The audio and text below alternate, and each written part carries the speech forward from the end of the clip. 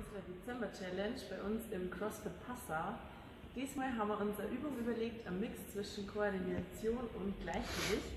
Und zwar, was ihr dafür braucht, ist einmal eine Metallrolle, ein Holzbrett und eine 2,5 Kilo Scheibe.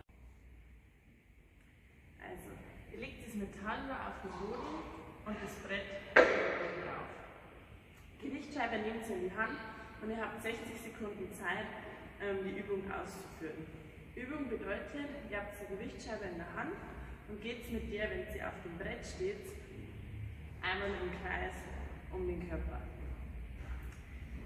Die insgesamt die runden Zellen, die ihr quasi schafft mit der Plate rund zu kommen, bedeutet 1, 2, 3 und so weiter. Mitzählen dürft ihr aber nur, wenn beide Seiten vom Brett in der Luft sind. Also wenn sie drauf steht und beide eine Höhe sind.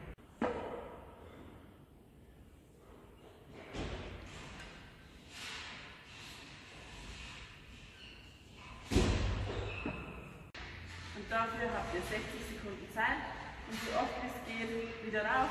Wir versuchen, dass ihr quasi rundum kommt und 60 Sekunden durchfahren. Viel Spaß!